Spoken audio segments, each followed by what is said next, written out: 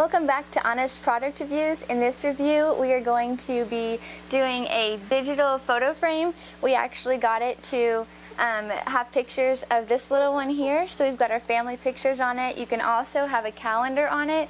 We're going to show you guys. This is all the stuff it comes with. Okay, it comes with a remote control. It's still in the package. We'll take it out. You've got three adapters for your plug-in, so that way it can be used anywhere around the world.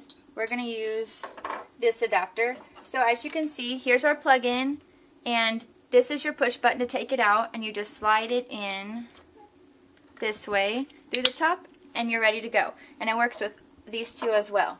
So we're going to plug that in in just a minute. Here's our digital picture frame, nice big size so you can see your pictures. We're going to show you in a minute how it works. It comes with a calendar, with the clock. Um, you can put pictures, videos. It's a pretty good one, so we're going to show you how we like it in just a minute. We just plugged it in. We've got our menu here, SD, setup, and calendar. Like I said, it's got a calendar next to it. We're going to press enter to use the SD card that we went and got and plugged in to the digital photo frame. Now that we've clicked enter on SD, you've got movie, music, photo, and file are your options. We're going to go to photo, because that's what we got it for. And then you've got a slideshow of your photos.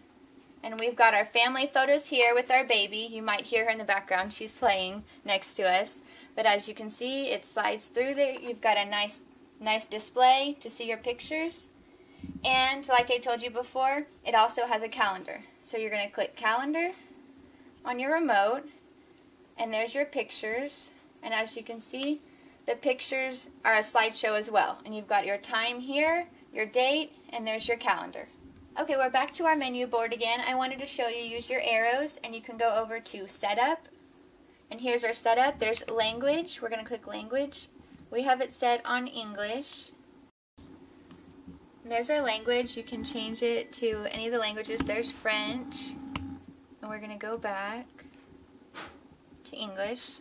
You go down, you've got time. It says three seconds. That's how much time interval you have in the pictures.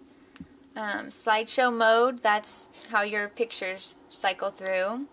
Slideshow order, you've got music, movies, display mode. Um, we have it on original size and it goes on. There's our time, you can change the time. Um, so that's our settings option there. Definitely an important part to go over to see. Um, and we're going to go back to our calendar so you guys can see on the remote. Okay, um, so we definitely like it. It's a great photo frame, um, good quality, good picture size, good way to show off your family pictures um, that you have here and also have a calendar as well. Thank you guys for watching. We hope you liked it. Um, we definitely enjoy this product. It's a really good product, great quality. Please keep watching for more great product reviews and subscribe.